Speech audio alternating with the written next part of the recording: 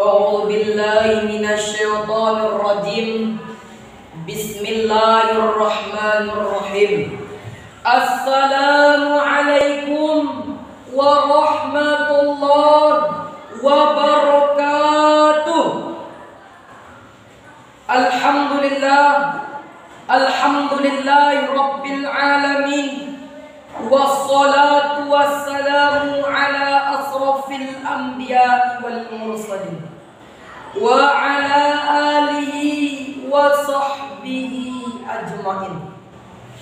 أشهد أن لا إله إلا الله وأشهد أن محمدا عبده ورسوله. لا نبي بعد أما قال رب اشرح لي صدري ويسر لي أمري. wahlul 'uqdatam min lisani yafqahu qawli sallallahu alaihi Judul pidato yang dapat saya sampaikan pada kali ini yaitunya tentang keutamaan bulan Ramadan. Hadirin wal hadirat rahimakumullah.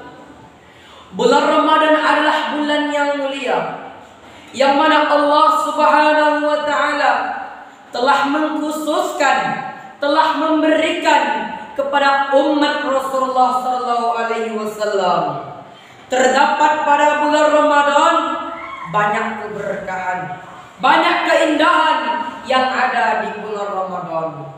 Rasulullah Shallallahu Alaihi Wasallam pernah berkata kepada para sahabat, wahai para sahabat, bahwasanya mereka umat Islam telah memahami keutamaan yang ada bulan Ramadan. Niscaya mereka akan mengkehendaki dalam seluruh bulan dalam satu tahun. Oleh karena itulah kita diwajibkan berpuasa di bulan Ramadan.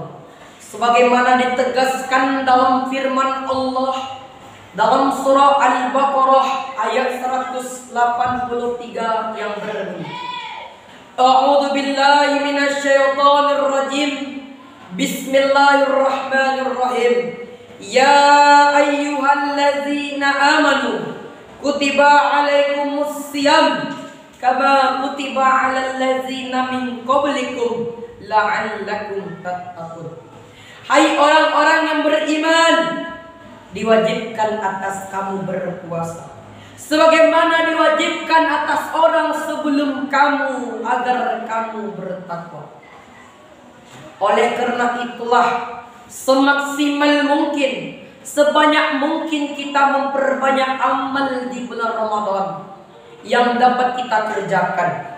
Salah satunya yaitunya mengerjakan salat tarawih dan witir. Salat tarawih dan witir dikerjakan ketika malam Ramadan. Maka kita kerjakan dengan sepenuh hati, maka dosa kita akan diampuni oleh Allah Subhanahu wa taala. Dalam sabda Nabi yang berbunyi, "Man qama Ramadan imanan wa ihtisaban ghafiralahu ma taqaddama min zambi." Siapa yang mendapatkan qiyamul lail pada bulan Ramadan karena keimanan kepada Allah, mengharapkan ridha Allah, maka dosanya akan diampuni oleh Allah Subhanahu wa taala. Yang kedua, mempelajari Al-Qur'an dan membaca Al-Qur'an. Rasulullah sallallahu alaihi wasallam telah meningkatkan intensitas membaca dan menelaah Al-Qur'an.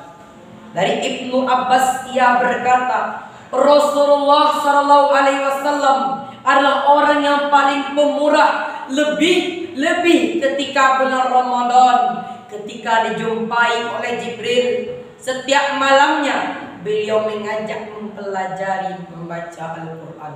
Maka Rasulullah sallallahu alaihi wasallam adalah orang yang paling pemurah, yang paling pertama dan kebaik daripada kebaikan, daripada angin yang tertiup. Yang ketiga, bersedekah. Sedekah yang paling utama yaitunya sedekah di bulan Ramadan. Anas bin Malik yang meriwayatkan ayu sadaqatu afdalu qala sadaqati fi Ramadan. Nabi Muhammad sallallahu alaihi wasallam ditanya tentang sedekah. Ya Rasulullah, sedekah apa yang paling utama ya Rasulullah?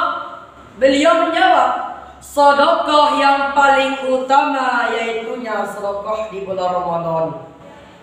Yang keempat, yaitunya memberi makan kepada orang yang berpuasa.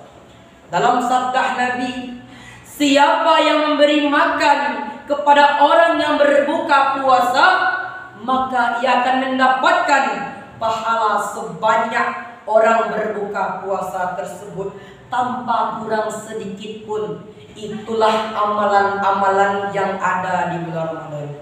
Kesimpulan yang dapat kita ambil dari pelajaran tadi yaitunya ketika di bulan Ramadan memperbanyakkanlah amal baik hanya itu yang dapat saya sampaikan kalau ada salah dari diri saya kalau ada betul itu dari Allah Subhanahu wa taala.